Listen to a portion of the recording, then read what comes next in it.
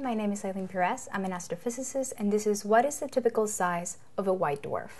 So first, let's talk about a white dwarf is. So stars that are about there are less than eight times so the mass of our sun uh, die from at the end of their lives they become a red giant and then go into a white dwarf.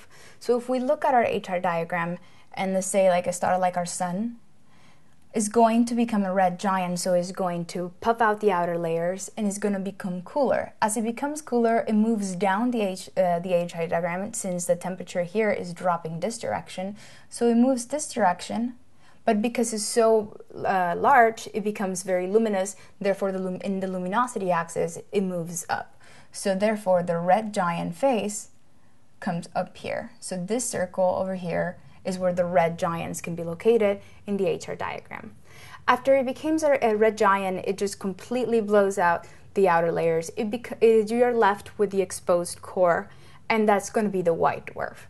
So think about it: as a white dwarf is small, it's still very hot because it's the core, but it's not going to be very bright because since it's going to be so small, it's going to be much much dimmer.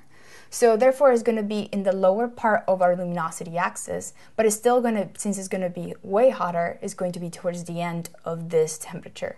So it's going to drop over here, and this is the white dwarf section.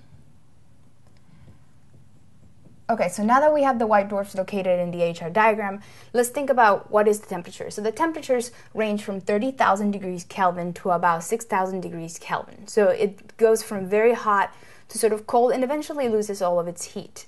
So once, once the star has contracted into a white dwarf size, uh, the cooling process can take up to 8 billion years. It's just eventually just going to lose all of its heat. So it starts with 30,000 and 8 billion years later it just it drops to a couple of thousands. So now let's think about how big are these things. So we're now just left with the exposed core of a star and a star that wasn't very massive. So generally speaking, um, the mass of a white dwarf is about half the mass of the sun. So it's going to be in the order of 10 to the 30th kilograms. So now when we think about this, it's very massive, but we also said that it's going to be just the core, so it's going to be very small.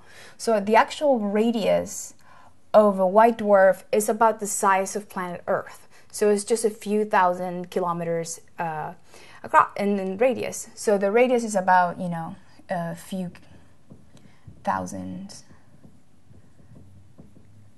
of kilometers.